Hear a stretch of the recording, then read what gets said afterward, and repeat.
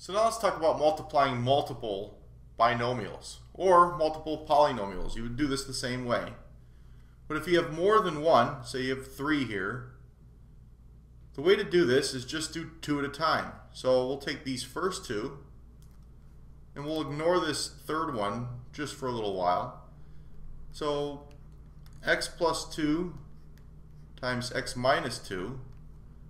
Again, I'm going to take this x and I'm going to multiply it by both of the terms in the second binomial. And then I'm going to take this 2 and multiply it by both the terms in the second binomial.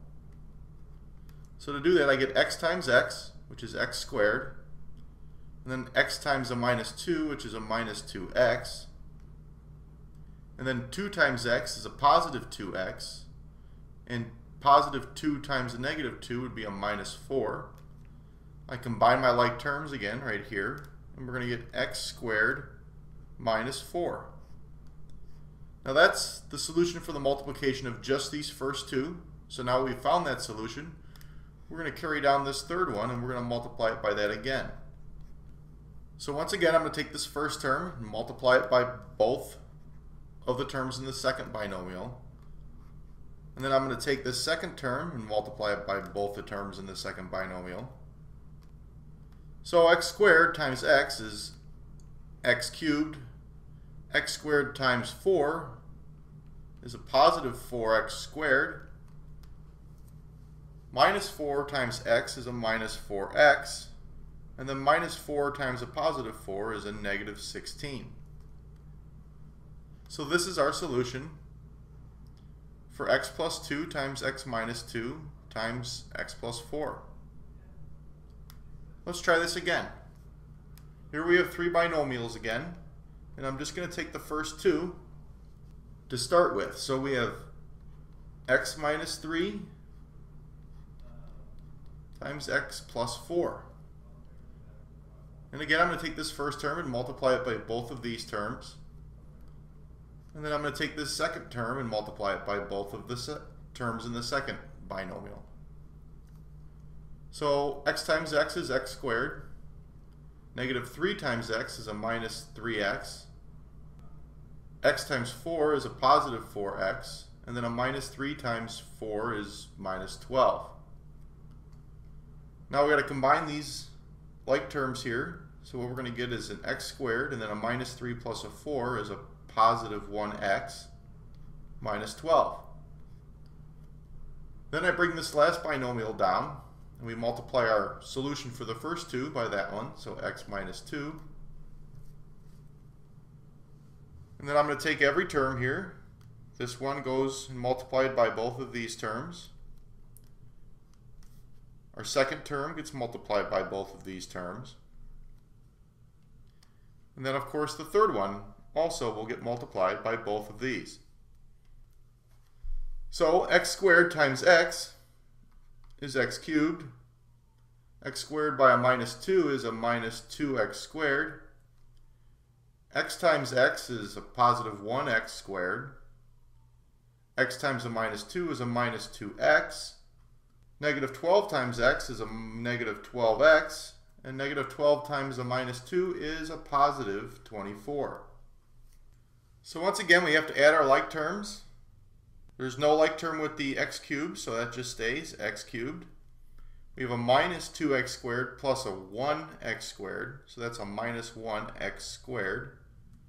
We have a minus 2x and a minus 12x, so this is a minus 14x, and then plus 24. Now when we multiply binomials, there's some special patterns that you'll see when you multiply certain binomials together. These are important later when we're dealing with polynomials, when we try to go the other way and factor them. But let's not worry about that right now. First, let's look at our first example. Here we have x minus y times x plus y. Well, if we ever see two numbers in our binomials, and they're the same two numbers, and in the first one we're subtracting, the second one we're adding, then it will always break down into the first number squared minus the second number squared. So x minus y times x plus y will always equal x squared minus y squared. But what if they're not different symbols? If we have an x plus y squared, and this is the same as x plus y times x plus y, then this will always break down into our first number squared plus 2 times both those numbers, and then our second number squared. If we have x plus y cubed, then it's always our first term cubed, and then plus 3 times our first number squared, and then our second number, and then 3 times our first number times our second number squared. Notice that these two are almost the same, except our first number is squared, and then in the second term, our second number is squared. And then lastly, we just have our second number cubed. So let's see if we can recognize this by doing some examples. Here we have a minus 2 and an a plus 2. We have the same number in both binomials, but one is subtracted and one is added. So by using the special property that we saw before, this answer is just a squared minus 2 squared. Well, 2 squared is 4, so then this is just a squared minus 4. Here we have b plus 2 squared. Well, this just comes out to be b squared plus 2 times b times 2.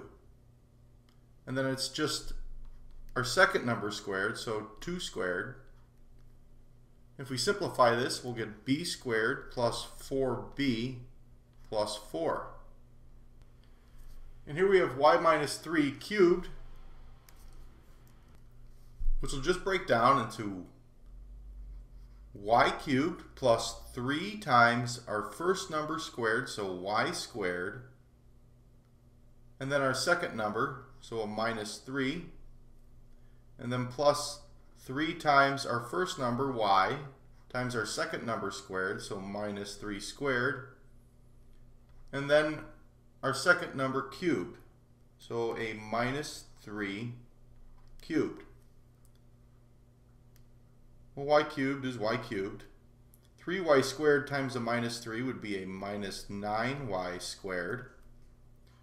3 times y times a minus 3 squared. Minus 3 squared is 9. So 3 times 9 would be a positive 27y. And then a minus 3 cubed is a negative 27. And that completes our tutorial on basic operations with polynomials.